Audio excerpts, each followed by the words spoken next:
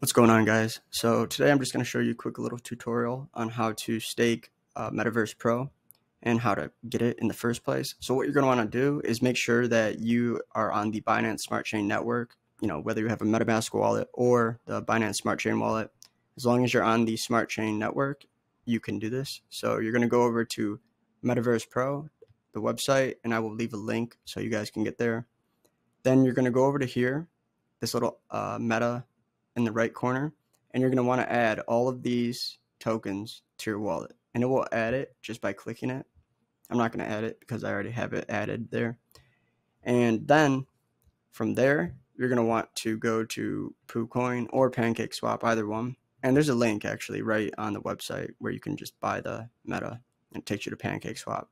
And then you would want to put in the Metaverse Pro contract address. It's already there for me. But when you, if you go from their website by Meta, it will automatically pop up for you and it will ask you if you understand. Click agree, and then it'll be right there.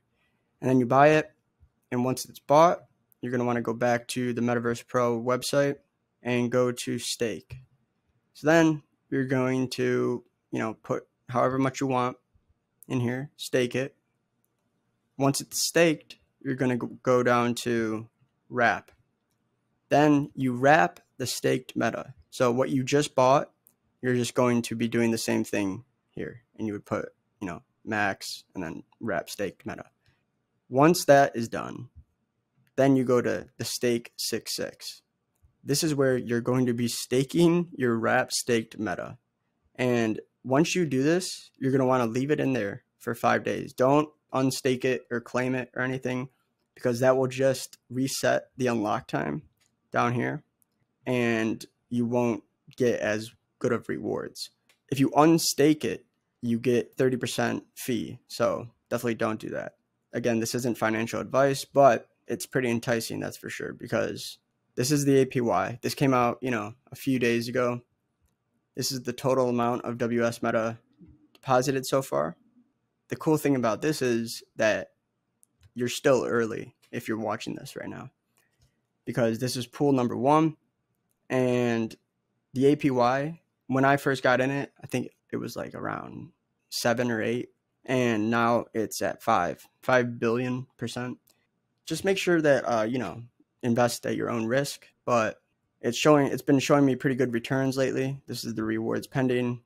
And then the price of WS Meta is $754. And as you can see, there was a little dip when there was a crash earlier. And then it started going back up, down, and then up again. So around here is kind of around here is where they came out with the WS meta. You know, do your own research, obviously. And also, if you want to put some bonds for this, you know, you can go over to bond. I'm doing meta dash USDC bond, but if you want a simpler one and you don't know how to get that one, just do you know wrap your BNB and bond that and look at the ROI for that. It's pretty good. So so that's pretty much it, guys. Uh, I just wanted to show you guys that because I know that these things are kind of complicated. And also, if you want to read about it, you go to the docs and everything you need to know is in here. Also, I would highly suggest that you join their Telegram or Discord because that's how you'll really stay up to date with what's going on and everything. Please like and subscribe. And also, uh, our podcast episode is going to be coming out soon. Sorry, we've just been so busy with finals and then some family uh, things came up and whatnot, but we're going to be back on it right away. So look for look out for that pretty soon. Okay. All right, you guys, like and subscribe. Thanks for watching.